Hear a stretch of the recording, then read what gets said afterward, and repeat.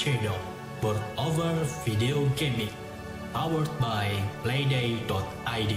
Lo guys, hari ini gue bakal review Medici dari Grail Games desainer Dr. Rainer Knizia. Game untuk 2-6 pemain, usia 10 tahun ke atas, durasi mainnya sekitar 60 menit. Langsung aja kita lihat apa yang ada di dalam boxnya. Ya, ada rulebook dalam bahasa Inggris, ada sejumlah papan kecil, dan papannya lebih kecil. Kenapa gue bilang gitu? Karena ada papan yang besar juga, dan sejumlah kartu, sejumlah token, dan juga ada first player tokennya. Udah, langsung kita ke bagaimana cara mainnya.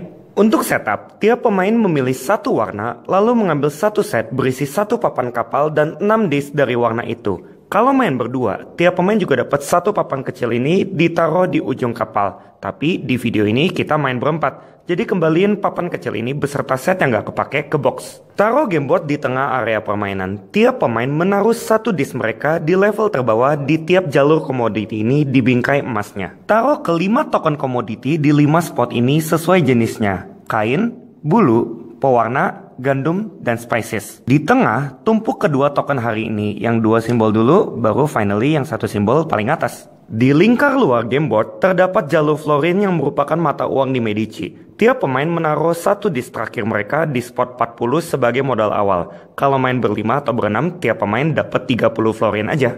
Ini adalah kartu komoditi, merepresentasikan 5 jenis komoditi yang ada. Tiap jenis ada nilai 0, 1, 2, 3, 4, 5, dan 5. Total 5 kali 7 plus satu kartu emas yang bernilai 10. Jadi ada 36 kartu. Gabung semuanya menjadi satu dan taruh di area yang mudah dijangkau oleh semua pemain. Setelah selesai, setup akan nampak seperti ini. Tentukan pemain pertama secara acak. Berikan token start player ini kepadanya dan permainan pun siap untuk dimulai. Di era Medici, kita datang sebagai saudagar dari berbagai penjuru dunia untuk membeli bahan-bahan. Bersainglah selama tiga hari untuk mencari yang terbaik. Sehingga akhirnya kita bisa pulang membawa banyak harta untuk dijual dan mendapatkan keuntungan yang terbesar. Permainan akan berlangsung selama tiga ronde. Tiap ronde dibagi menjadi empat fase dimulai dengan fase persiapan. Kocok ke 36 kartu komoditi, lalu diskat sejumlah kartu tergantung jumlah pemain seperti bisa dilihat di tabel ini.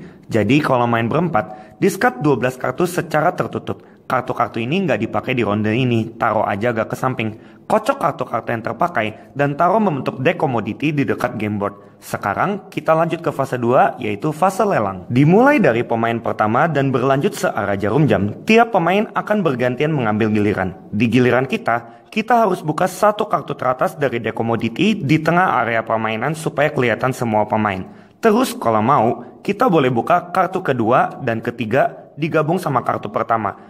Tiap kali buka satu kartu, kita boleh milih buat stop atau lanjut buka. Tapi maksimal kita cuma bisa buka tiga kartu. Begitu kita memilih stop, grup yang berisi satu, dua, atau tiga kartu ini akan dilelang. Dimulai dari pemain di sebelah kiri kita sebagai pemain aktif dan berlanjut searah jarum jam. Tiap pemain boleh memilih mau bid atau pas. Pemain aktif selalu jadi yang paling terakhir buat memilih. Bid awal bisa berapapun, tapi bid berikutnya harus lebih tinggi dari bid sebelumnya. Bid berlangsung satu kali putaran aja. Ambil contoh, karena kita pemain aktif, berarti pemain pink bakal mulai duluan. Pemain pink memilih untuk pas. Lanjut pemain oranye dia bakal bid 5. Pemain putih pas, terus finally kita bid 6. Setelah semua pemain mendapat kesempatan satu kali untuk bid atau pas, pemain dengan bid tertinggi menaruh semua kartu di grup ini di atas kapal miliknya, lalu membayar sesuai bidnya. Misalkan tadi kita bid 6 dan itu yang tertinggi, berarti mundurin disk kita di jalur florin 6 spaces. Dan itulah akhir dari satu lelang. Oper token start player ke pemain berikutnya searah jarum jam yang kini akan membuka satu, dua, atau tiga kartu baru untuk dilelang lagi. Info penting, kita nggak bisa bid melebihi uang yang kita punya. Selain itu, kalau menang bid, kita harus simpan semua kartu yang ada di grup tersebut. Nggak bisa dipilih beberapa aja. Kapal kita bisa menampung maksimal 5 kartu, atau 7 kalau main berdua. Jadi, kita nggak bisa ikut bid kalau grup yang dilelang bakal bikin kapal kita kelebihan muatan. Misalnya, kapal kita sisa 2 spot aja, dan grup yang dilelang berisi 3 kartu. Berarti di lelang kali ini, kita harus pas.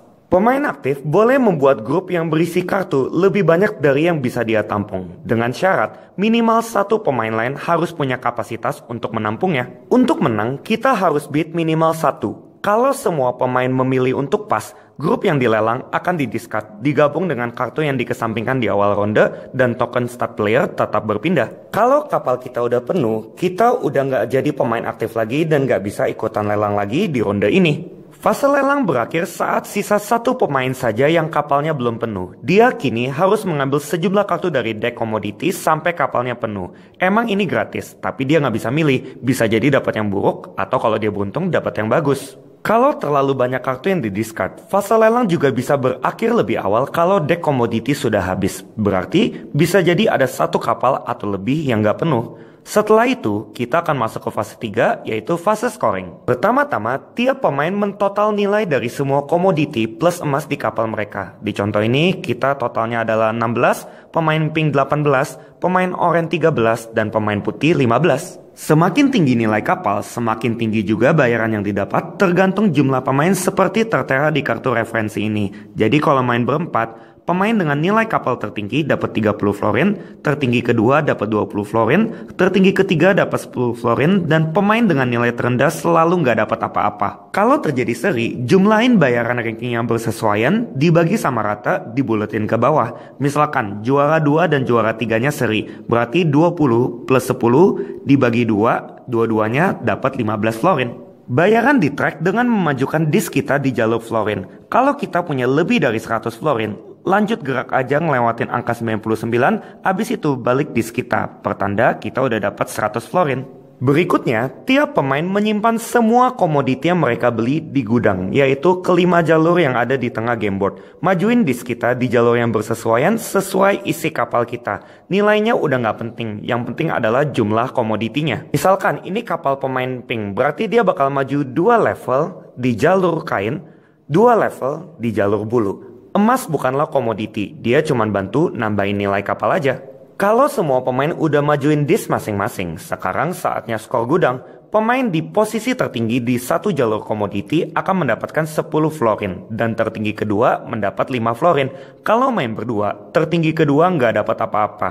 Kalau terjadi seri, jumlahkan bayaran ranking yang bersesuaian dibagi sama rata dibuletin ke bawah. Sekalipun disk kita ada di level terbawah, kita tetap bisa dapat bayaran kalau kita emang tertinggi atau tertinggi kedua. Misalkan di jalur pewarna ini, kita sebagai pemain biru otomatis menang dan mendapatkan 10 florin.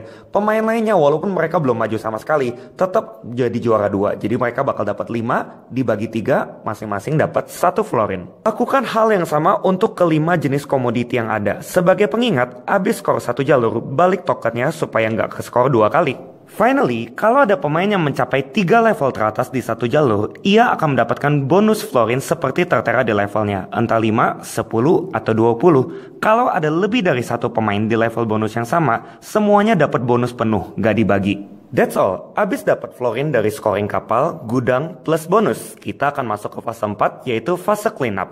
Pertama-tama, gabung kembali ke 36 kartu komoditi yang ada termasuk yang di discard menjadi satu deck lagi, siap untuk dipakai di ronde berikutnya. Lalu remove token hari teratas. Disk-disk di gudang tidak di reset, jadi dari hari ke hari komoditi di gudang bakal semakin menumpuk. Finally, oper token start player ke pemain dengan florin paling sedikit. Dia akan jadi pemain pertama di ronde baru yang kini siap dimulai dari fase persiapan lagi.